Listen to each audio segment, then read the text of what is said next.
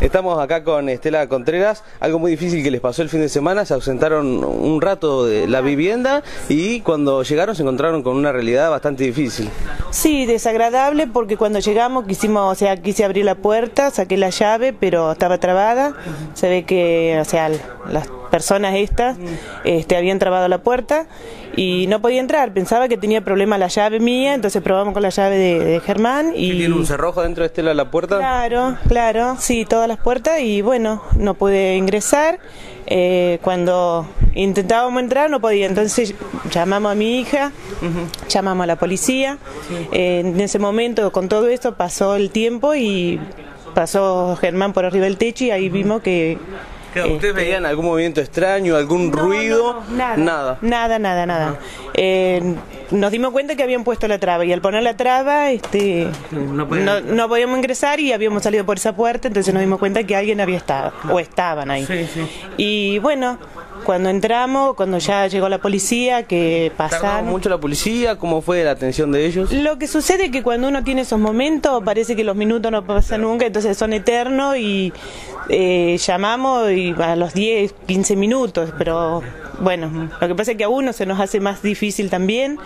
Este, pero y llegamos a las 11, 11 y cuarto nosotros, calculo. No fue nada porque salimos de casa tipo nueve y media, nueve y cuarto, nueve y media de la noche.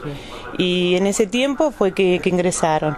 Eh, rompieron, o sea, abrieron porque es una, una reja que tiene con llave, que es una puerta, eh, la forzaron, no rompieron nada, después todos fueron... Este, sí, revolvieron eh, toda, la, toda la habitación, buscaban algo. Sí, supongo que buscaban dinero porque, mira, te digo la verdad, vendimos un, vendí un autito y valor nada, porque es un auto viejo, y supongo que buscaban eso, porque es lo único que tenemos, no tenemos nada. Y, no teníamos nada porque esa plata se utilizó para pagar cuenta que teníamos. ¿Imaginás, Estela, que tu esposo, eh, Germán, eh, también eh, en los análisis que hacen posteriormente de lo que ha sucedido, es alguien que tenía información, que conocía acerca de sus movimientos? Porque si ustedes se asentaron un ratito y, volvieron y, se encontraron con esto, ¿es porque los estaban vigilando o algo de eso? que sí, que no han estado vigilando. supongo, nos conocemos todo acá, así que sabemos cada movimiento de cada uno y más cuando esta gente está informado de todo, porque son los que se averiguan. Supongo que notaron... un trabajo de investigación, eso es lo que llama la atención también. Exacto, sí, han hecho una investigación en ese sentido, que vendí el autito este y, y, bueno, nada más que eso, supongo, pero no rompieron nada, no rompieron nada, sí, revolvieron todo, teníamos todos en, la habitación todo tirado, habían empezado en la otra habitación y bueno, ahí habían empezado a, a llegamos nosotros, por eso suponemos que estaban ahí porque no llegaron a sacar todas las cosas. ¿Pudiste hablar con algún vecino, alguien que escuchó algo, que vio algo? Nada. Nada, nada, nada, nada. Una chica, una vecina de más atrás, eh, dijo que uno de los perros estaba enloquecido, eso sí, pero después este, nadie escuchó nada.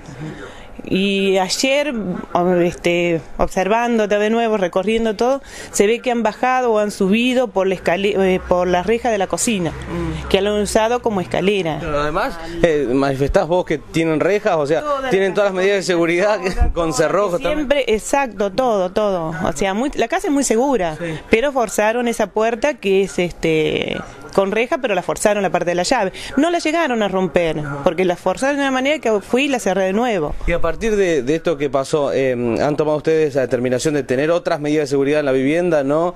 Sí, hacer, reforzar un poco lo que tienen. Reforzar la reja que abrieron, reforzar todo lo otro, poner cosas y bueno, no sé. Pero si vuelven a entrar no van a encontrar nada porque no tenemos nada. Es más, eh, comentaron, me comentaron de que habían comentado en un negocio que, o sea, que dicen que tenemos muchas cosas de oro. No tenemos nada, porque lo poco que tuve una vez lo tuve que vender.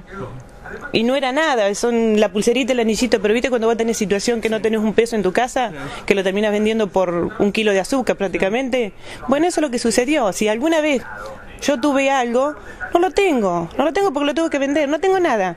Vivimos de dos sueldos, dos sueldos bajos, este, pagamos alquiler, así que te imaginas que no tenemos nada. Y lo poco que ves, lo ves con mucho sacrificio. Pero nada más que eso. Estela, muchas gracias por tu tiempo. No, por nada.